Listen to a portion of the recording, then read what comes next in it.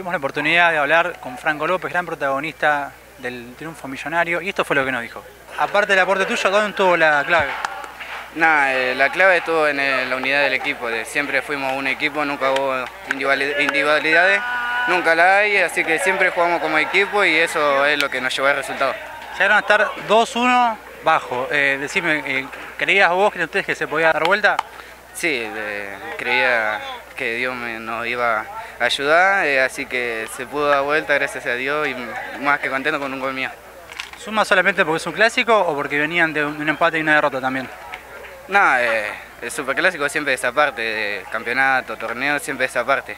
Se juega con todo, no importa si, si es amistoso, eh, siempre jugaba con todo. Bien, la última. ¿Pálpito para mañana? Ganado, siempre ganado. Muchas gracias.